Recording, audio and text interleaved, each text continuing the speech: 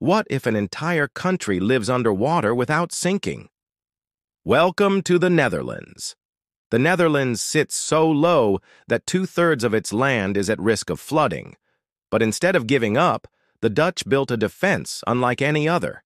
Towering dikes, storm surge barriers the size of skyscrapers, and even reclaimed entire provinces from the sea.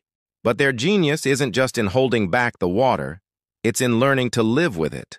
Projects like Room for the River deliberately give rivers space to flood safely, turning danger into resilience.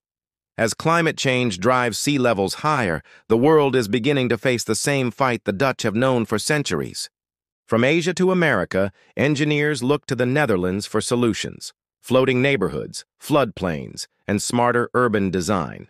The Dutch secret isn't just engineering, it's mindset, adapt, innovate, thrive. Because when the sea rises, survival isn't about walls, it's about learning to flow with the water.